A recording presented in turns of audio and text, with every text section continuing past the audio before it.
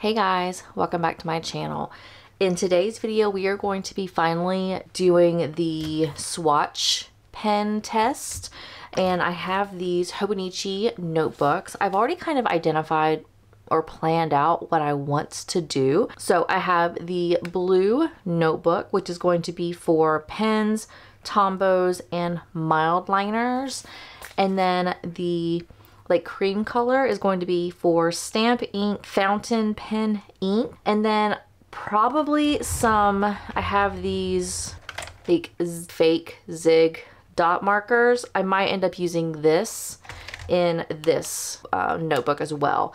But I'm not going to be doing this one until later just because I don't want to have it just be too busy. So this video is going to be focusing on this notebook which is going to be the Pens Tombow and Mildliner, like I just said. So I've already kind of planned out a little bit of what I want to do. So I have these like little tabs here and the first section is going to be all of my pens. And what I'm to end up doing is having the pen name on this column. I'm going to do the pen name and then kind of highlight over it with the Tombow and then do the same thing but with the Mildliner. Now I know there's going to be smears because some of these pens are very smear heavy. But that's what I want. I want to be able to see in a notebook kind of what they look like if I decide to write and then highlight over it. I will go ahead and just kind of caveat though, over the last 2023, I have gotten very good at highlighting first and then using the pen. So the smearing that you might see on the Tombow and the Mildliner, I really don't have because I do highlight first and then write over it later. But if you are not that type of person, this is definitely going to be the video for you. So I have already kind of identified a handful of pages because I want to use this, like I said, for, you know, multiple years. So that way I can just kind of add it to whatever planner I am using. Um, this also is using the Hobonichi Tomoe River paper. So if you have other paper, you're not going to have the same results. But we have, like I said, the pen swatches, and then we have Tombow. And then what I was going to do is kind of section them out by colors. So we have gray and black, pink and red, yellow and orange, green, blue, purple, brown. And then I have a couple other pages, these two pages that I haven't really identified anything for just because I don't know what other colors I might get. And then we have the Mildliners. Now the Mildliners I don't have a lot of, so I did not break them out by color um, because I'm tending to gravitate more toward Tombow versus Mildliner. So I don't really have any kind of color breakout for that because if I did, there might only be like one or two colors per page and that just doesn't seem smart. And then we have all of the other pages that I can always add onto. So that is what we're going to be doing for this video. So if you would like to see kind of how these swatch tests goes on the Tomoe River paper, then go ahead and keep watching. All right, so we're really gonna quickly talk about the pens that I have. Now, if you watched my 2023 or my 2022 video going into 2023 planner season, I had a lot more pens that I did with my swatch test in my 2023 Hobonichi cousin. I have since kind of trimmed down a lot of the pens that I just don't use and I just don't like on the Tomoe River paper. But I do have several pens that I have saved and I want to talk about. So we are going to go ahead and get started. I do have mostly gel pens because that's usually what I gravitate toward.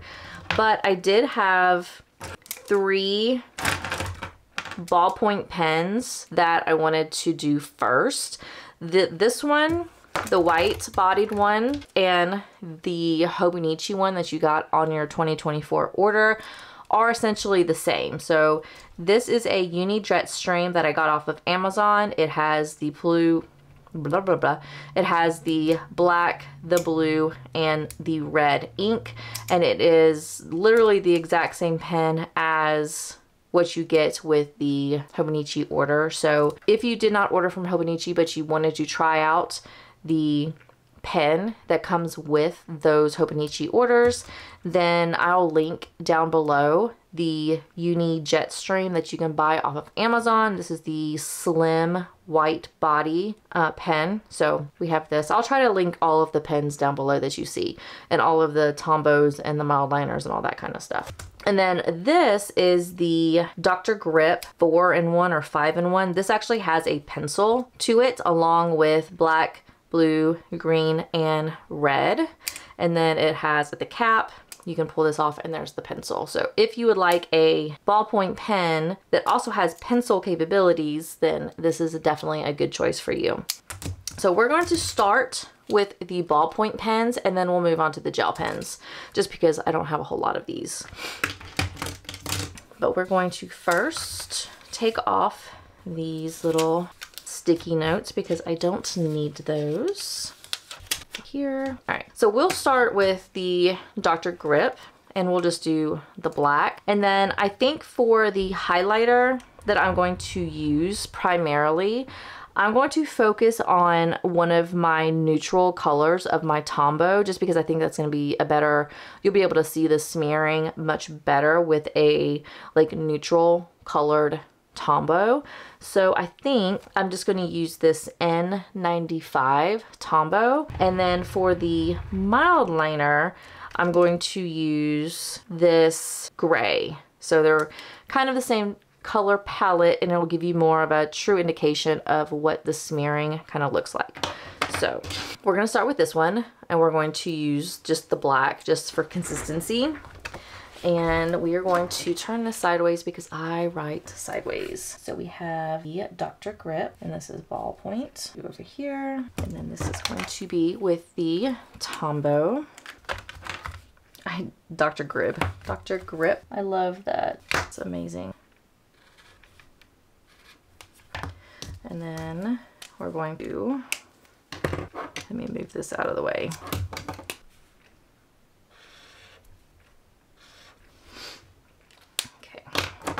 So that is the Dr. Grip. Uh, this is definitely not one of my favorite pens. So I like the ballpoint pen, but it's definitely not my go-to. And then we'll do, we're not gonna do the Hobonichi one just because not everyone, you can't like order this from what I no, I don't think you can order this. So I'm just not going to use this, but know that this pen that I'm going to show you is the same Uni Jetstream that you get on the Hobonichi order.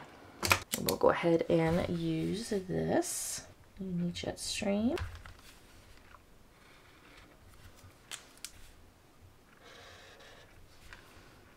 Okay.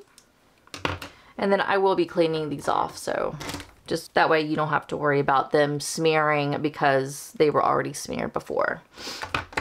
All right, so those are the ballpoint pens, just those two, not a whole lot of those. Okay, and so the next thing I'm gonna do is I'm probably gonna group the pens together by brand just so that way I'm not like jumping back and forth between like Muji 038 and Muji 5 and then a Sarasa and then going to a Pilot and then going back to a Sarasa. I'm probably going to try to keep them all consist like consistent. So we're going to, let me kind of set these up the way that I want them.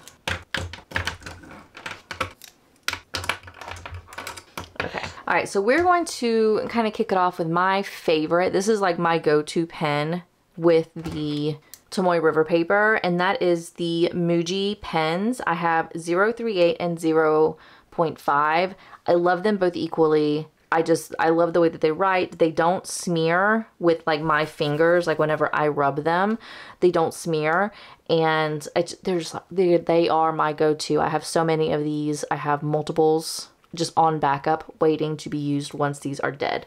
So we're going to do Muji 038 first. And then we have the Tombow. Have the mount liner. So these definitely, oh goodness. So these definitely do not look good, but like I said, I am a highlight first and then write over it. So I'm never really, these are not a problem for me, but if you are not like that, then this might be a problem for you. And then I'm going to clean these off. So now we're going to do the Muji in 0.5 which is pretty much going to be the exact same that you're going to see on the 3.8, but you'll get an idea of what it writes like um, with the 0. Point. Like, I haven't even used this one yet. Let me make sure it writes off the jump. Yeah. Okay. With the Tombow, which is going to smear, but still love it. Then we have a Mildliner. So those are the Muji pens. So now we're going to move on to the Sarasa. So I have the Sarasa Clena, and this is in 0.4. We have the Sarasa Clip in 0.5. We have the Sarasa Mark-On in 0.5, and then we have the Sarasa Dry in 0.4. So those are the ones that I have that are from Sarasa. And we will do the Clena first.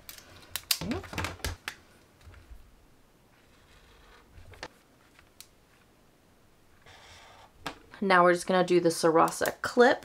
And I will say, like, pretty much all of the pens that I have now, they really, they don't really smear touch-wise. So I know that's another thing that people are concerned with. Um, the pens that I have, oh my goodness, they, they don't really do that uh, because I got rid of a lot of my other pens that were very resist or very smearing um, with touch. Now this isn't like a black, a true black. This is like a black with like a green kind of ish undertone. So that's probably why this is turning out kind of red. But the Mildliner. And now we'll do the Mark-On. Now with the Mark-On, I don't know what it is. I have never had, I bought like a pack of five or six. For some reason, the pack that I have, the Mark-On, it kind of, it skips on the paper. I don't know if this is going to be one of them, um, but I've, I've never been lucky when it comes to the Mark-On for some reason. This one actually is writing okay. And see, it doesn't really smear touch-wise. Okay, and then we have the Mildliner. So this one definitely is much better with the smearing than some of the others. It still smeared a little bit, but not nearly as bad as some of the other smearing. And I'll do a close-up at the end so that way you can see them all um, up close. All right, and then the last Sarasa I have is Sarasa Dry, and this is in 04. And then we have Tombow Mildliner. So that is going to be all of these Sarasa ones. And then I have four other pens. We have two of the Frixion pens. I have the Frixion Clicker in 05. This is the friction Synergy Clicker in 05. We have the Pilot G2 in 038. This is like everyone's favorite pen ever, I think. And then we also have this last one. This is a Papermate Inkjoy in 07. I got this primarily for work and like working at my desk in the office. But I do have it at home with my other pens and I just want to show you what this pen would look like. And that is pretty much all of the pens that I keep at my desk that I use on a regular basis. So we will start with the clicker Frixion or the Frixion clicker in 05. And this one is a erasable pen. So I, I do like the Pilot Frixion line, um, but just be aware that the eraser, it erases because of like heat that is going against the ink. That's what makes it erase. So if you end up using any of the Frixion pens, don't leave your notebook or anything in like the sun because it will, the heat will erase the ink. From what I've heard, it's not happened to me before, but you know, it erases using heat. So it makes sense that it could potentially, your ink could dissolve or evaporate in the heat. So, so we have the Pilot Frixion and we have the Tombow, the Mildliner. So with the Pilot Frixion, the Tombow and the Mildliner, they don't smear, but they do cause the ink to kind of wipe away, I'll say. Um, so that's what this is. And now we'll do the Synergy, the Frixion Synergy. And this is supposed to be kind of a different type of ink. It's more bold. So I'm just gonna do Pilot Synergy 0.5. And this has the same situation where it kind of erases the ink.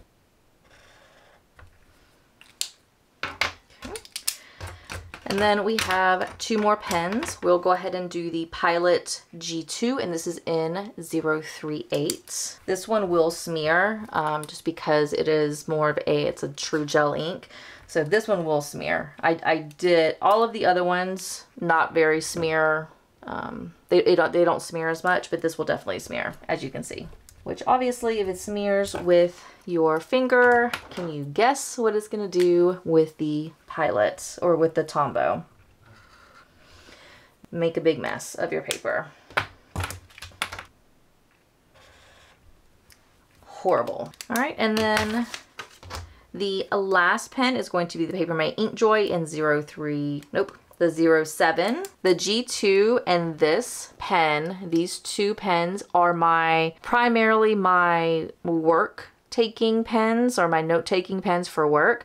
Um, so I don't really have to worry about this Tombow or with the Tomoe River paper. So that's why I use these. They're still in my like pen box, but they're definitely not used on this paper. But if you would like one of these too, just be prepared. All right, so this is Papermate Inkjoy in 0.7. Looks beautiful, but oh, this actually doesn't smear as much as I thought it was. I thought it was going to smear a lot. I don't use it very often, obviously, on this paper, but that definitely was not what I expected. Have Tombow and Mildliner.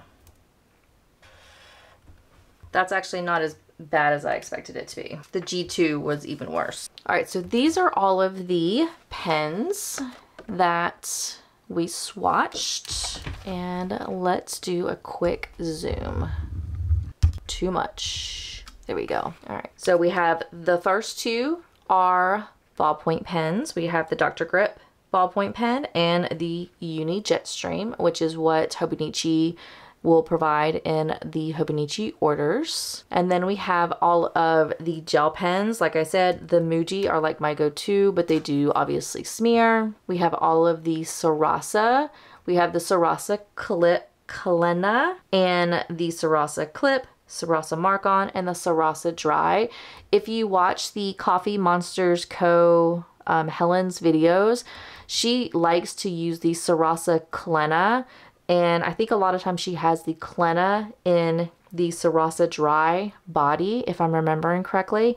But she does like the Clena is one of the pens that she does use in a lot of her videos. And then we have the Pilot Frixion and the Pilot Synergy. These are the erasable pens that you gotta use with caution because they will evaporate with light or with heat I should say. And then the smearing is not really there. The disconnect between the ink when there is a highlighter on top is because it's taking up the ink not really smearing it per se. And then we have the Pilot G2 and then a Papermate Inkjoy gel pen. And those obviously smeared pretty significantly. All right, so that is going to be all of the pen swatches for now. I might end up adding to this as the year goes on, as new pens kind of come into my stash. Um, I might do swatches a little bit later for um, those pens. So just make sure you like and subscribe so that way you'll be notified anytime I make new videos um, because that could potentially be coming sometime next year. All right, we are going to put this little um, tab back on so that way I have it for my little page things. All right, so we're gonna start with the Tombows now. So we're going to focus on first all of the gray and the blacks.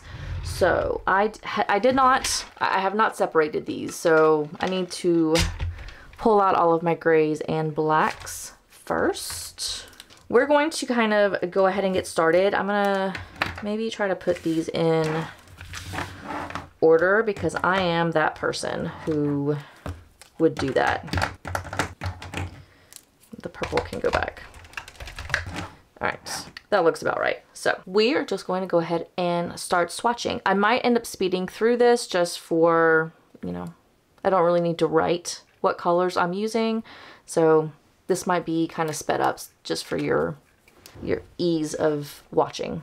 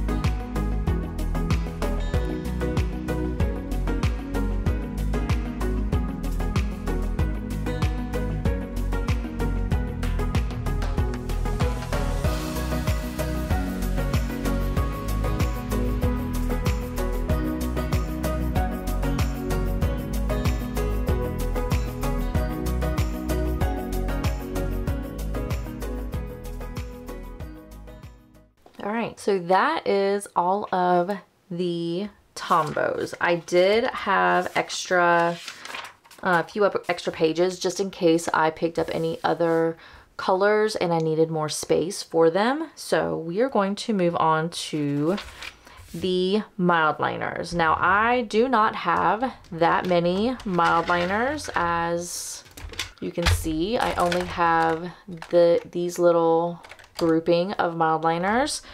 So I'm not going to break them out by color. I'm just going to grab and then kind of write what their color is. So I'm going to try to be somewhat consistent. So like grays together, browns together, that type of thing. But, you know, whatever.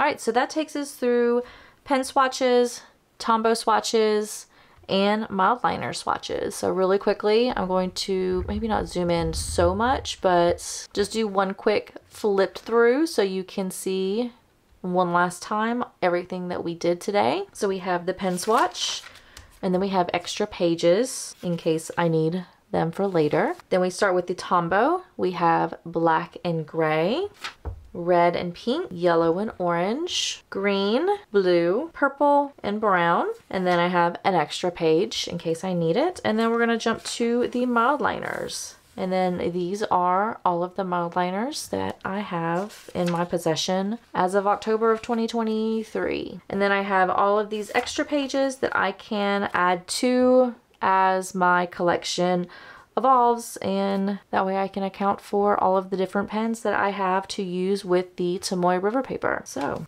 that takes us through this swatch video and make sure that you like and subscribe because I will have another video video coming out where I will be doing all of my stamp ink and my fountain pen ink on the Tomoe River paper as well. So with that, thank you so much for watching. Please make sure you like and subscribe and I will see you in my next, next video. Bye!